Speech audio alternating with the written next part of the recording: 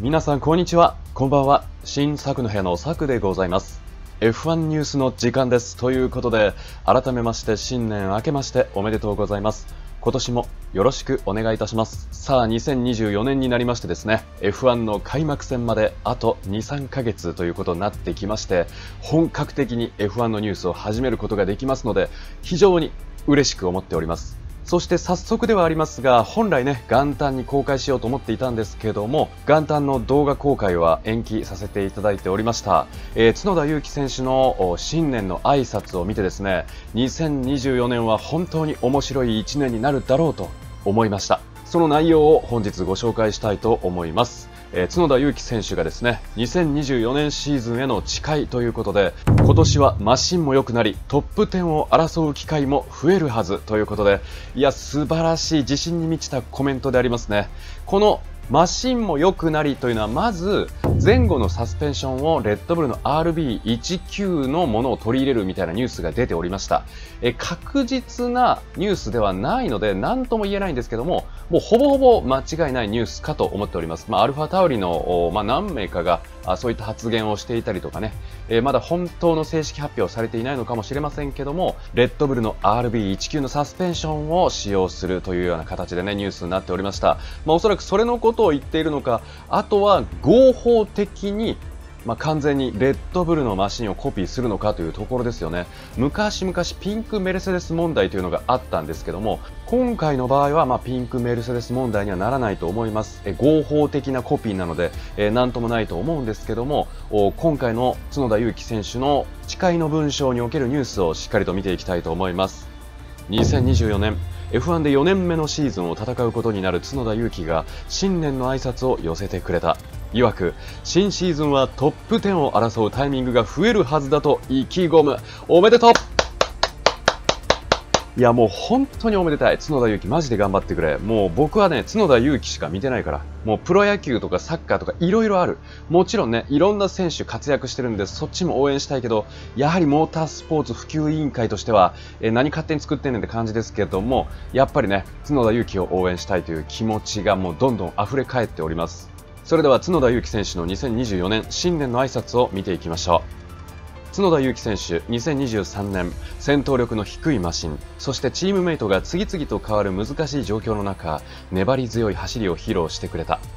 シーズン序盤は安定した成績を残しマシンのパフォーマンスが向上したシーズン後半には入賞の常連となりアメリカグランプリではファステストラップを記録。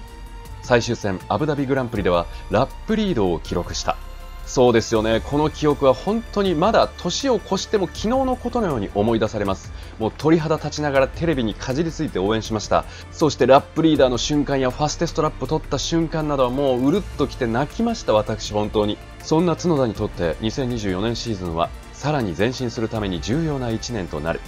その角田はマシンが良くなるはずだと期待感を語るとともにドライバーとしての価値を証明したいとも主張した。ドライバーとしての価値を見出すという部分では去年はある意味ステップを踏めました。角田選手はそう語りました。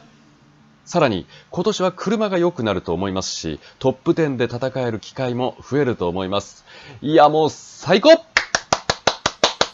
頑張れツノッチもうマジで頑張ってくれ。レッドブル昇格まであと少しだというね。F1 のトップドライバーとして必要なものを持っていることを証明する年になると思います。そうするためにはかなり大きな努力も必要ですし、皆さんの応援も必要です。去年は本当にありがとうございました。今年も応援よろしくお願いいたしますということで、皆さんの応援も必要ですって書いてあります。よっしゃ、もう応援しまくるぞ。もう皆さん一緒に応援しましょうね。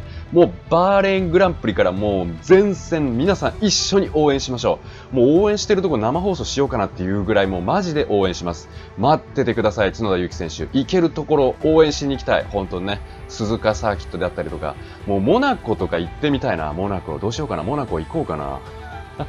マジで。本当にね、もう角田祐希選手のこんなに自信満ち溢れたコメント、も見たい。これ以上のコメントも見てみたい。ね、これがトップ5を争えるチームになると思いますとかね。いやもうそんなところ見てみたい。本当最高のシーズンになってほしい。頑張れ。で、今年はね、2024年はもうさすがにリカルドもう骨折しちゃダメだよ。リカルド骨折しないようにね、頼むぜ、ほんと。チームメイトコロコロ帰んなよ。もう、ローソンはもういいから、本当にローソンもういいからね。もうリカルド、もうダニエル・リカルドでずっと行こう。マジで。そして、角田祐希はリカルドを圧倒する。必ずリカルドを圧倒して、さあ、ヘルムート・マルコはレッドブルに残留しましたよ。正式決定しましたよ。マルコと角田祐希は仲がいい。そしてトストも一応アルファタウリ相談役みたいな形で残ってますからね。24戦全戦でリカルドを圧倒しようぜ。それでもレッドブルに乗せるのはリカルドだっていうのかい、ホーナー。どうなるんでしょうか？